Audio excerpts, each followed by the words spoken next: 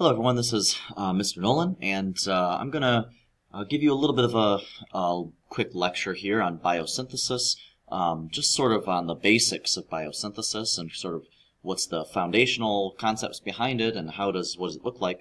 Uh, our goals for this uh, screencast are to be able to model biosynthesis by using um, little models uh, to create proteins, fats, and starches. That's what we want to be able to look at, is really all of these.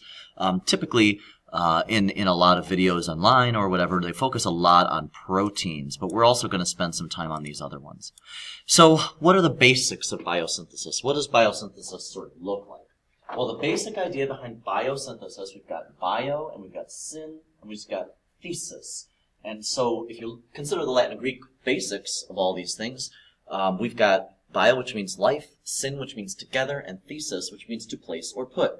So we are putting pieces of things together in living things. That's what's happening with biosynthesis. So in biosynthesis, what we do is we take small pieces.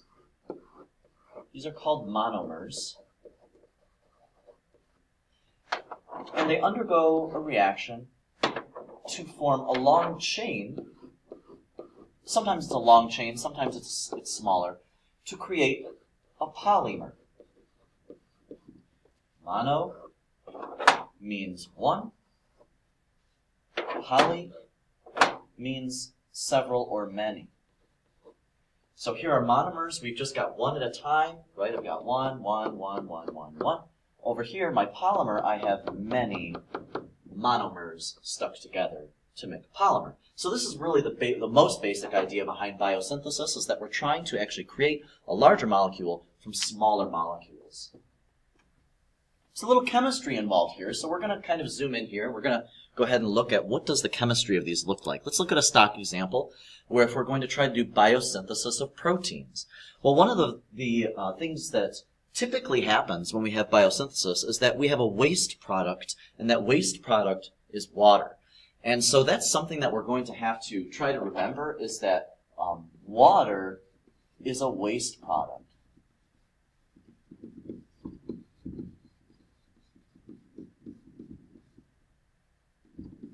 So water is our waste product. So um, how does this happen? What does this look like to end up with water as our waste product?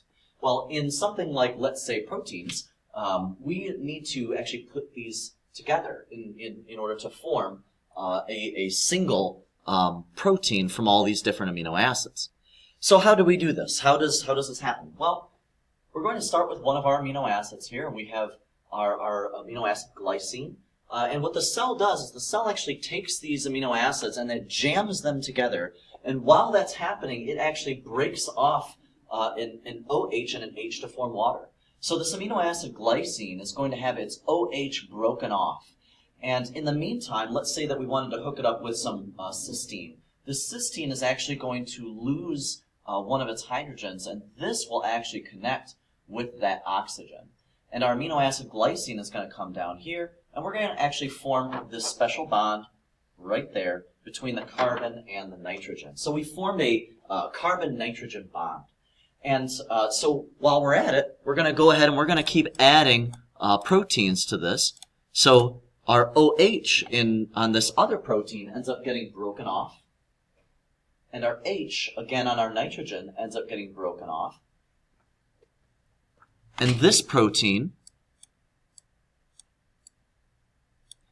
ends up, or this amino acid rather, ends up hooking with that protein right there. And so we're building our protein one amino acid at a time. To complete our protein, what we're going to do is break off that last OH, break off this last H. So these two sort of, this water sort of goes off. And this amino acid will go hooking down here to the rest of our protein. So we end up producing three wastewaters.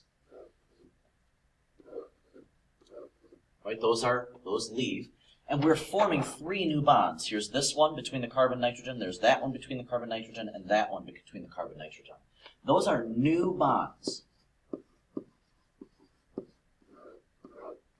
And they have a name. They're called peptide bonds. If we're talking about proteins, we're talking about creating peptide bonds. So when it's all said and done, we end up uh, having created some wastewater as a product and creating some new bonds uh, to make a protein. So that's what it looks like to biosynthesize protein. Let's kind of zoom in and look at some other examples. For instance, starch. So let's look at biosynthesis of starches. So in biosynthesis of starches, we have sugars. We're really starting with sugars. That's our monomer, because we're beginning with sugars. Um, but you notice that there's no nitrogen in these sugars, and so we can't bond carbon to nitrogen. We have to bond carbon to something else. And so um, what we end up doing here is we are going to break off an OH from the sugar. We're going to break off a hydrogen from that sugar. This water is going to take off. This will go away. And we're going to have this monomer hook up with that monomer so that we actually get a sugar that has two monomers put together. This is a very simple uh, starch called a dimer because it has two pieces together. We can keep going we can break off another OH and another hydrogen to produce our wastewater, and this goes away. And our other monomer comes and hooks up to that polymer so that we end up with a, uh, a relatively simple small starch. I mean, you could call this a trimer if you wanted to, um, but what we've really got going on is we have our, uh, our, our sugar uh, which has been bonded together three sugars to make a polymer or a starch. We've created two wastewaters, and the new bonds that we formed were right here and right here. So we form new bonds, okay? So we're actually forming, again, we're forming new bonds.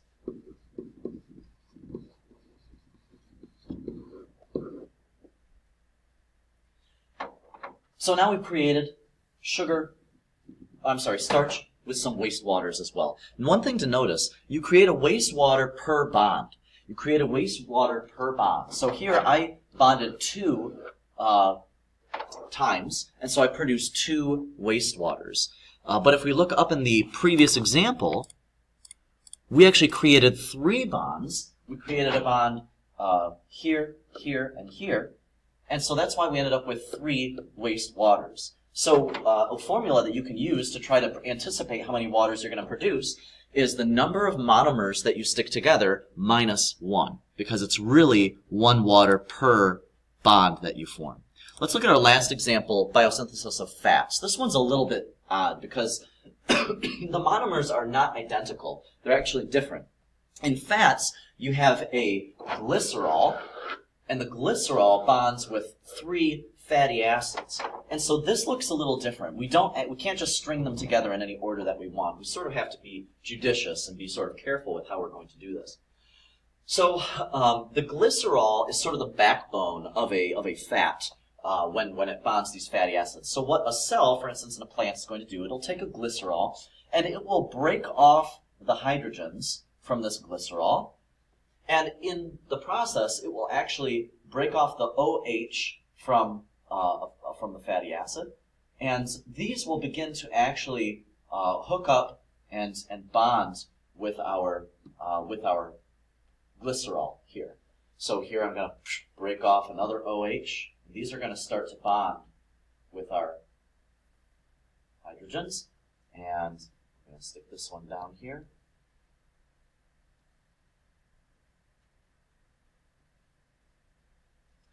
And then we're going to have another one that's going to break off there.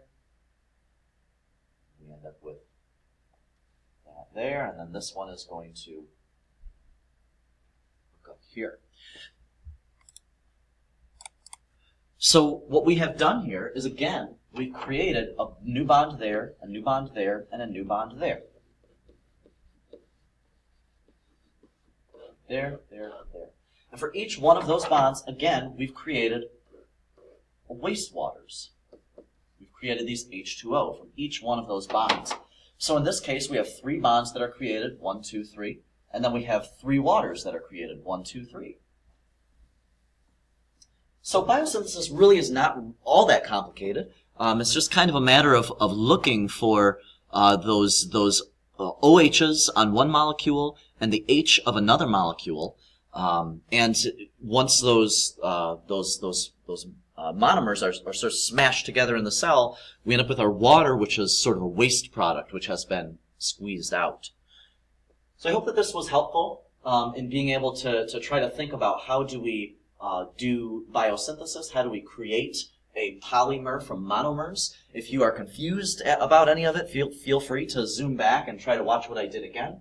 Um, but this is really the idea behind biosynthesis, both of proteins uh, and of starches and of fats.